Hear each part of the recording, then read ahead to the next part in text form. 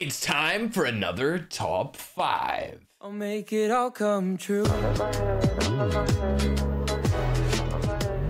Hey, it's me, Ferg here, back again with another brand new Call of Duty Mobile video. And like I said in the intro and the title and the thumbnail, we're going to be looking in at the top five assault rifles for Season 10 in Call of Duty Mobile. And let's just say the king has been dethroned.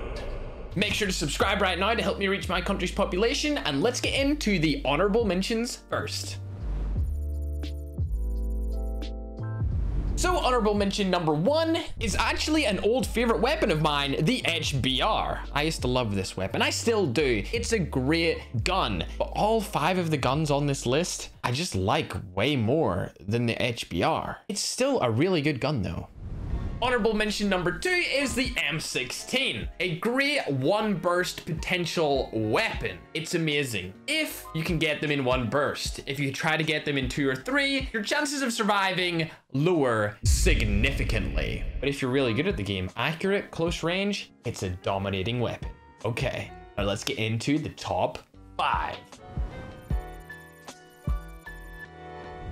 So coming in at that number five spot, we have a weapon that I thought might have been a little bit higher on this list, but it just doesn't do it for me. All of the damage things you're gonna see in this video will be the base damage, not including damage range attachments or damage attachments, except for one gun. Anyway, back to the AK-47. It's amazing. 33 damage close range means it's a close range killer if they're weak. However, if they are not weak, it takes four shots to kill rather than three, which for some other guns on this list is actually pretty slow. With this gun and with all other assault rifles, recoil is manageable with the right attachments. I would go as far as saying that the actual gun skill itself inside of Call of Duty Mobile since the gunsmith released has actually went down. You need less skill to control weapons with the gunsmith Smith update, and it means high kicking guns like the AK-47 really don't feel like they have much recoil at all, meaning it's a great weapon for medium and longer ranges.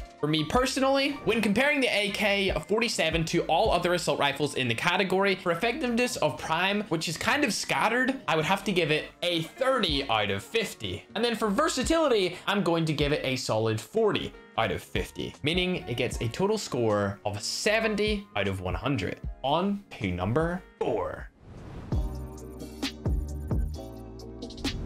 Coming in at that number four spot, it is, of course, the ICR. One of the best long-range weapons in the entire game. Minimal recoil. The only thing that's bad about it is its bullet spread accuracy. It may feel like it's doing really well, but if you don't have bullet spread accuracy attachments on it, some of the bullets may not go where you want them to. However, with that being said, it's still a long-range killer. Close range drops off significantly, leading it to be right at the bottom of the top five gun list at number four. However, every gun in this top five list is amazing. Trust me. Anyway, let's talk stats. Now on screen, you can see the old damage stats for the ICR. Nowadays, it actually four shots close range. Unfortunately, there's no one on the planet who has went through every single gun since the gunsmith update to get all of the accurate stats. Just know that it four shots close range, that still kind of puts it at the bottom of the pack. However, longer ranges, it is insanely good. And that is why I'm going to be giving it a solid 45 out of 50 for effectiveness of prime, which is longer ranges, and a 37 out of 50 for versatility. Medium to long, pretty decent. Close, not too much. That gives it a total of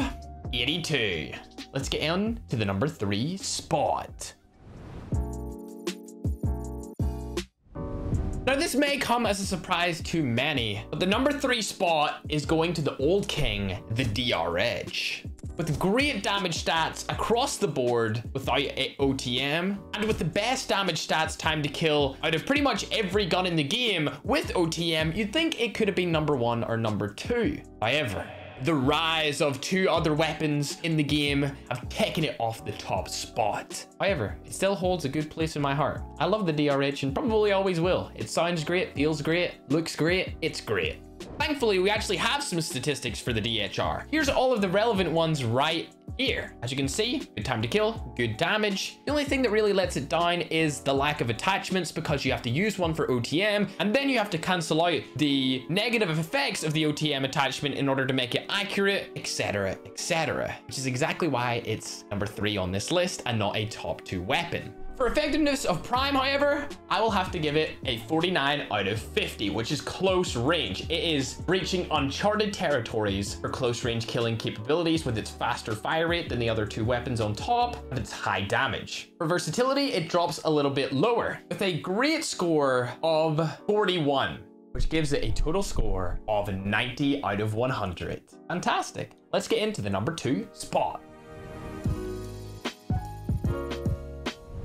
So the number two spot goes to none other than the ASM-10 close range killer. 34 damage close range means it can three shot similar to how the DRH can three shot. However, you don't need an attachment on your gun to make it insanely good close range, which means you can have good ADS speed, good bullet spread accuracy, and great vertical or lateral recoil, whichever one you decide you want to be controlled better. Similar to the DRH, we have a bunch of statistics on screen right now that you can see how good the ASM-10 really is. It's fantastic. I really enjoy using it, and it feels good when you're running around the map with it. However, you guys want to know what my personal opinion is and what the Fergometer says? For effectiveness of Prime, we're going to give it a 49 out of 50, exactly the same as the DRH, except you don't need to get really good close range time to kill by using an attachment. You can do it attachmentless. Is that a word? I don't even know. Versatility, I'm gonna give it a 43 out of 50. Great overall among every range, which gives it a total score of 92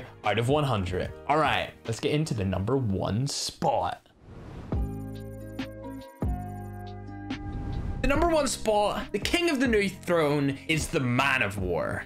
Three shot kill potential is insane, and it is just a beastly weapon. In fact, since it's number one, it's my favorite weapon for all of multiplayer. Now, there's not many Man of War statistics available for us, but I've been told by PathEXE that it three shots up until 10 meters and four shots up until 20 meters, which is nuts. That leads it at the top of the pack for close range encounters. It's also fairly versatile. The damage really doesn't drop off too much and you can find yourself getting five shot kills across the map with the Man of War. So for effectiveness of Prime, I'm gonna give it a 50 out of 50. Perfect score for assault rifles close range. And then for versatility, I'm gonna give it a 45 out of 50, meaning it gets a pretty solid score of 95 out of 100. I hope you enjoyed today's video. Make sure to live your life with purpose and let's roll the outro. Bye!